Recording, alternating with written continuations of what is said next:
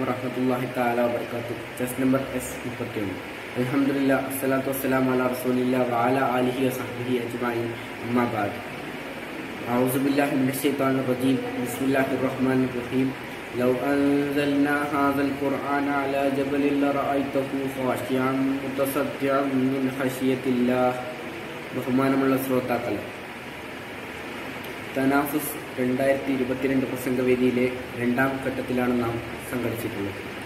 ഈ ഒരു ഘട്ടത്തിലേക്ക് എൻട്രി ലഭിച്ചതിൽ ഞാൻ അതിയായ സന്തോഷവാനാണ്. അലഹമില്ല ഈ വേളയിൽ വിശുദ്ധ ഖുർആൻ അത്ഭുത ഗ്രന്ഥം എന്ന വിഷയത്തെ ആസ്പദമാക്കി അല്പം ചില കാര്യങ്ങൾ ഞാൻ സംസാരിക്കാം. അള്ളാഹു തോഫീക്ക് നൽകുമാറാവട്ടെ. അള്ളാഹുവിന്റെ മതമായ ഇസ്ലാം ആ വിശാലമായ ആശയത്തെ അള്ളാഹു സുബാനുഭവത്താല പരിശുദ്ധ റസൂൽ സല്ലാഹു അലൈഹി വസ്ലം തങ്ങൾ മുഖേന പരിശുദ്ധ ഖുർആാനിലൂടെ നമ്മെ മനസ്സിലാക്കി തന്നു. ഖുർആാനിന് വിവിധങ്ങളായ പേരുകളുണ്ട്.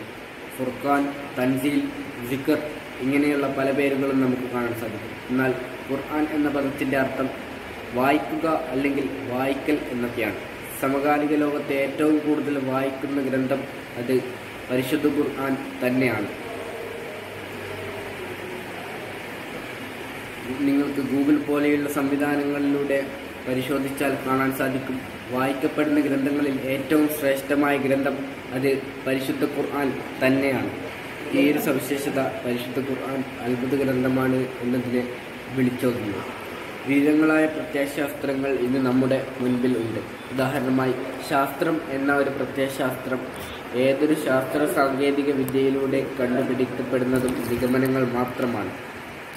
നേരെ മറിച്ച് പരിശുദ്ധ ഖുർആാനിലൂടെ കണ്ടുപിടിക്കപ്പെടുന്നവ നിഗമനങ്ങളല്ല മറിച്ച് ഉറപ്പുള്ളതാവുന്നു. ഇത്യാദി പ്രൗഢമായ തെളിവുകൾ ഇത്യാദി പ്രൗഢമായ തെളിവുകൾ മതേതരവാദികൾക്ക് മാത്രമല്ല നിരീശ്വരവാദികൾക്ക് പോലും ഉൾക്കൊള്ളാൻ ഉതകുന്നതാണ്. എന്നാൽ പരിശുദ്ധ ഖുർആാനിലൂടെ കാര്യം മനസ്സിലാക്കാനുള്ള ത്രാണി നമുക്ക് ഇല്ല എന്നുള്ളത് നമ്മുടെ ബലഹീനതയാണ്.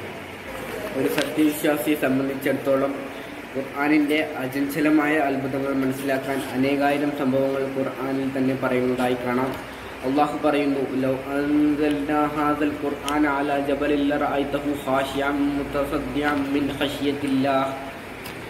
നാം ഈ ഖുർആാനിനെ ഒരു പർവതത്തിന്മേൽ ഇറക്കുകയാണെങ്കിൽ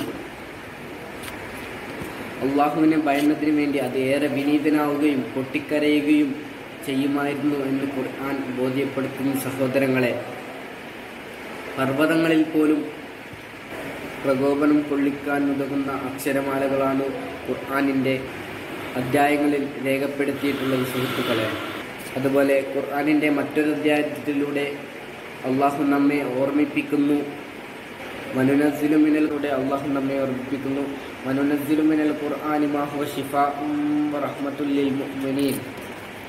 നാം ഖുർആാനിൽ പറയുന്നത് മുഴുവനും സത്യവിശ്വാസികൾക്ക് കാരുണ്യവും ശമനവുമാകുന്നു. പ്രത്യക്ഷത്തിൽ അറബി അക്ഷരമാലകൾക്ക് കഴിവുണ്ടോ? അറബി അക്ഷരമാലകൾക്ക് കഴിവ് മാത്രമല്ല അക്ഷരമാലകൾ കോർക്കപ്പെട്ടുണ്ടാകുന്ന സൂക്തങ്ങൾ വായിക്കപ്പെടുമ്പോൾ ഉണ്ടാകുന്ന വായുസഞ്ചാരത്തിന് പോലും പവറുണ്ട് എന്നാണ് പഠനങ്ങളിൽ നമുക്ക് മനസ്സിലാക്കാൻ സാധിക്കുന്നത്. ഇങ്ങനെ ഒരുപാട് അത്ഭുതങ്ങൾ ഖുർആാനിൽ തന്നെ നമുക്ക് കണ്ടെത്താൻ സാധിക്കും. സമയക്കുറവ് കാരണം ഞാൻ അതിലേക്കൊന്നും കൂടുതൽ പ്രവേശിക്കുന്നില്ല.